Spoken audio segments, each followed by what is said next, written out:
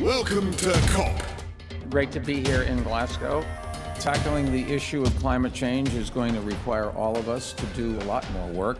We've got to take responsibility for what's going on on this planet. There really is no excuse for inaction, and there is nothing we can't accomplish if we work together. And Bloomberg Philanthropies is committed to doing as much as we can.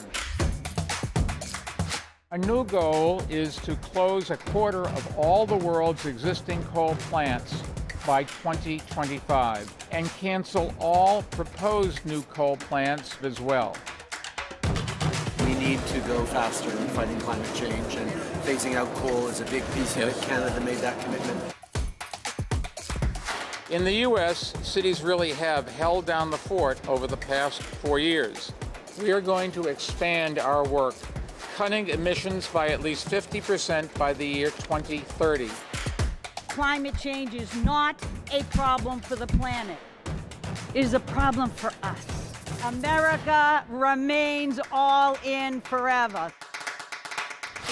C40 cities are leading the way, helping their countries reach the national targets. I'm so excited because of the enormous potential of our cities to make a defining difference in this fight for the future of our planet. I do want to thank His Royal Highness Prince William for his leadership on climate and for inspiring a new generation of innovation with this great prize. To our Shot Prize finalists and winners, thank you for believing that we can face the vast challenges in front of us today. The world's children are counting on us. We can't let them down.